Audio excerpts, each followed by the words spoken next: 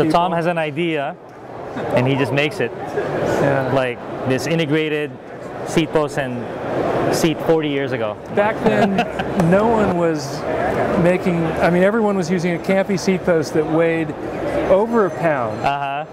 And I wanted the lightest bike possible. So, you know, I was making designs back back when, you know, I could be the guinea pig, and I didn't Right. really sell it to a whole lot of. It's still relevant today. So Tom, uh, tell us about this bike. Well, my wife and I love the tandem. We ride the tandem as much as uh, as we can, and we've traveled the world with. Uh, I've traveled the world with a breakaway single, of course. And the last four years, Martha and I have traveled the world uh, with a breakaway tandem, and Wow. and everywhere we go. People notice it's different. They they see the colors, but they also see that it's a little different Right. and I've never introduced it to the market, and this is going to be the year we're going to introduce it. But this bike represents uh, basically four years of testing the tandem concept in a breakaway. so you have the you have the couplings right here for the Uh-huh. front end. It comes apart.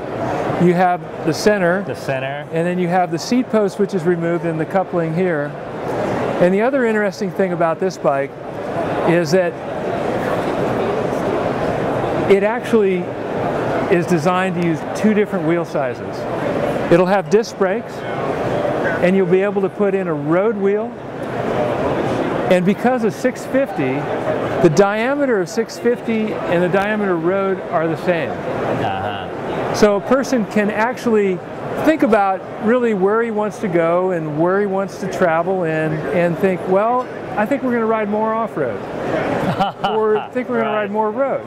That's right. And, and just basically choose the wheels choose the wheel. and, and change it out and have a bike that works just as good. So, so you can customize the ride to what you're doing, or where you are in the world that day. Yeah, your choice. Your it's, it's- choice. It's, have it your way. It's the Burger King commercial. What about the bar? You use, you use a, a drop bar or a flat bar? Or? I will use probably on this bike a a, a, a, a mountain bike bar with bar ends. Uh-huh. Yeah, and so will Martha. But the Right. thing about this is really the expensive part of a bike is of course the frame. And all the gearing, even the rear wheel, you can you can have a road rear wheel with a, a 28. You can Uh-huh. have this with a 36 Right. you can have a the, the two different wheel sizes and you can actually have a bar a road bar because everything has to come apart in the breakaway process. You can have and you can have two different handlebars. Right.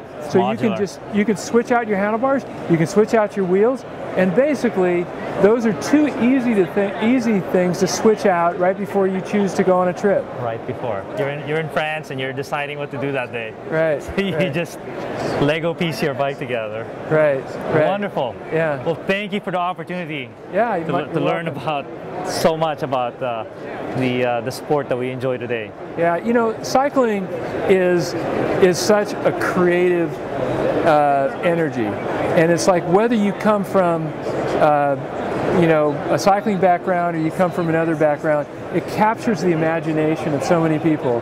I mean, Albert Einstein, it captured his imagination.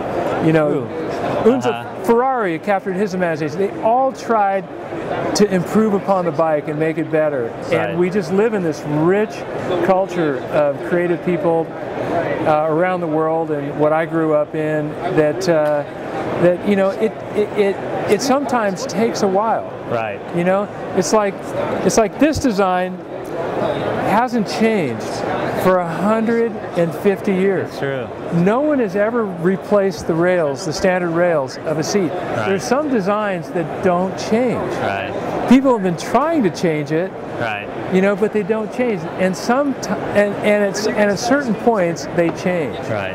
and then the world uh, kind of gets gets uh, you know a completely new you know start again. Right. To uh, to something that uh, excites them again. So Right.